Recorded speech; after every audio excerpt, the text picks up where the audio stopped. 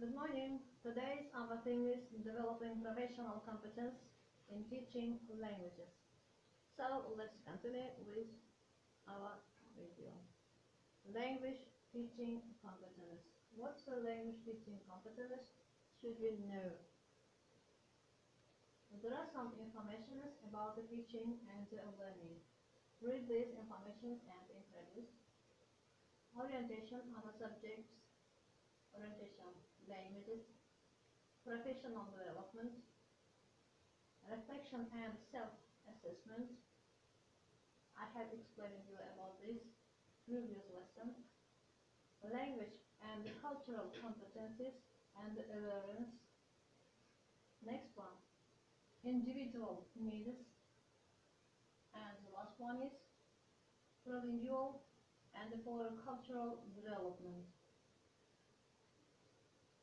Introduce with this information as let's continue with the next page. Sales management assessment. What is sales management assistant? So, sales management assistant includes the following. Leader, problem solver, teachers should be as a leader, as a problem solver, coach, motivator, communicator,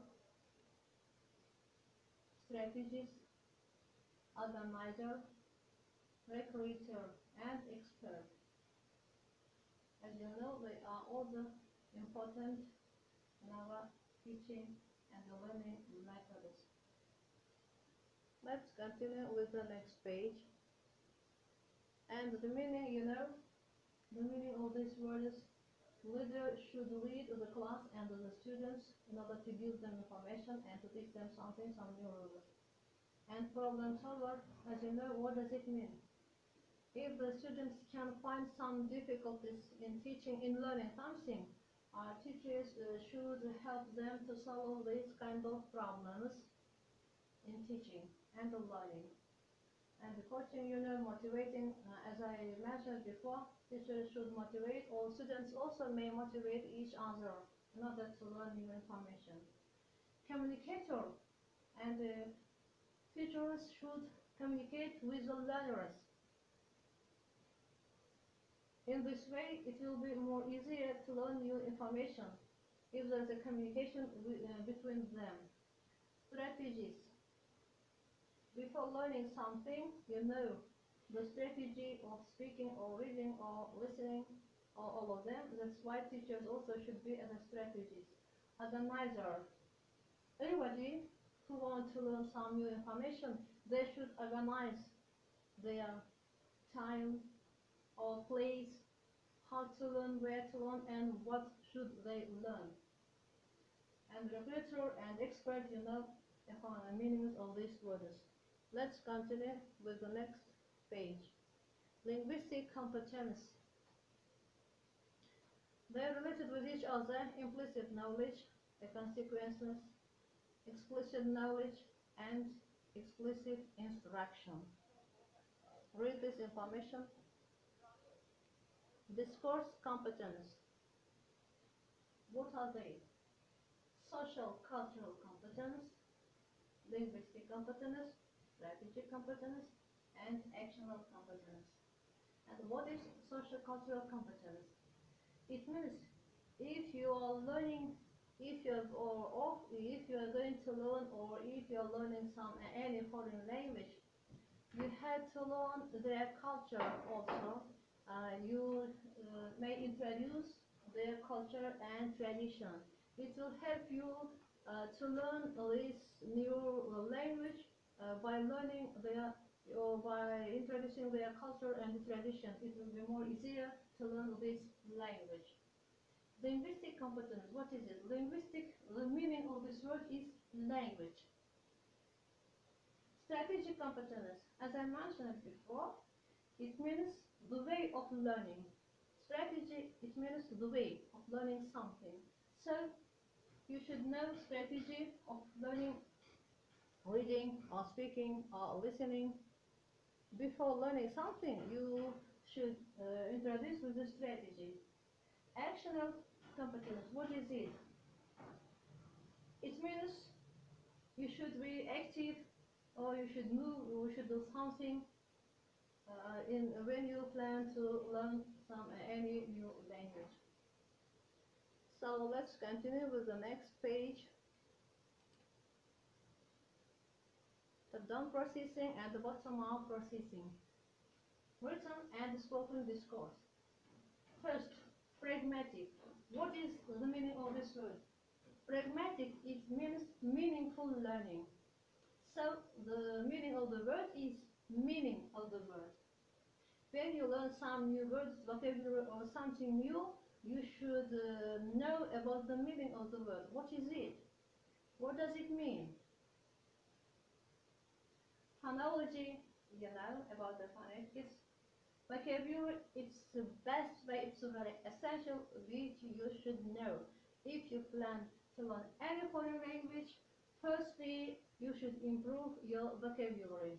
And if you have, uh, if you have more vocabulary, if you are not lack of vocabulary, you can improve your other skills such as listening, speaking, reading, writing, and grammar also.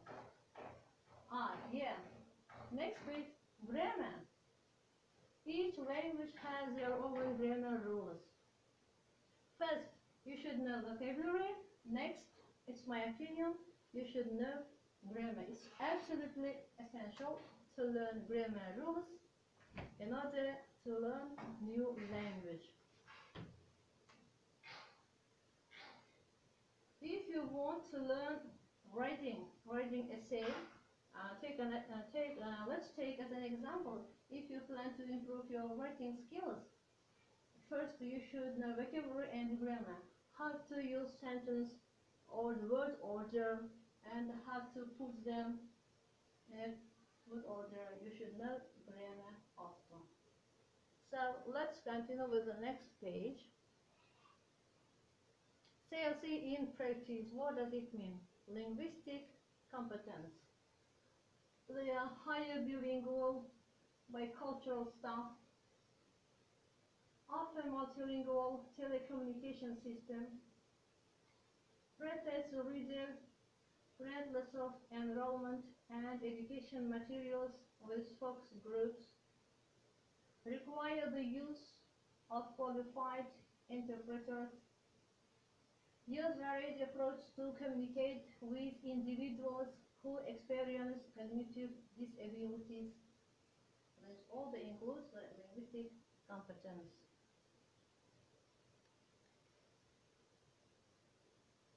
Okay, let's continue with next communicative competence.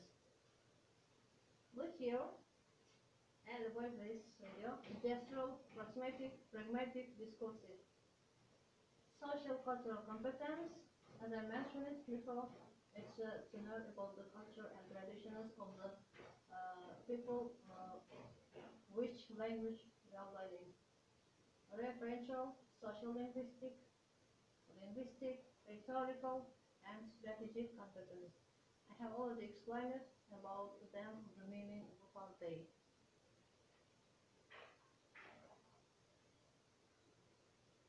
And there is also about competence information, skills, and knowledge.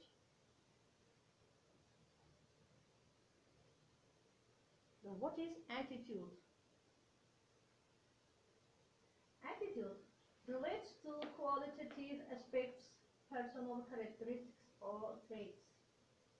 And what's the difference among them between attitude and skills? Skills, it relates to the ability to do physical domain. And what is knowledge? Knowledge relates to information cognitive domain.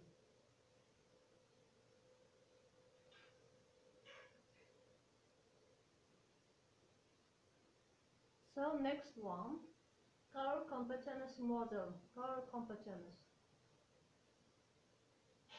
There are some